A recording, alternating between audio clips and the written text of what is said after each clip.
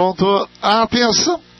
O Fast Six começa aqui e vai para a dianteira. Great Truff, número 2, a favorita tirando vantagem. Enquanto lá por fora, tal e qual avança, toma o segundo, rota da Guanabara, terceiro.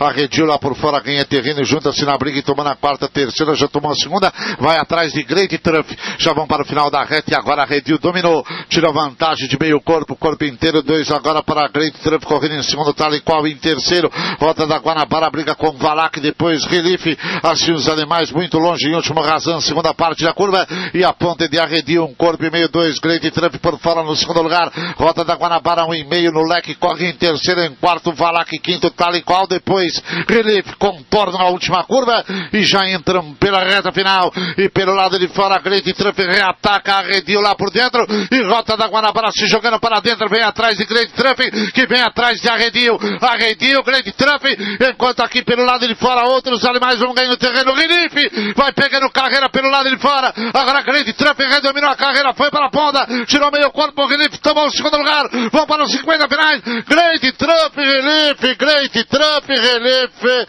Cruzar a faixa final. Depois Rota da Guanabara. Muito bem,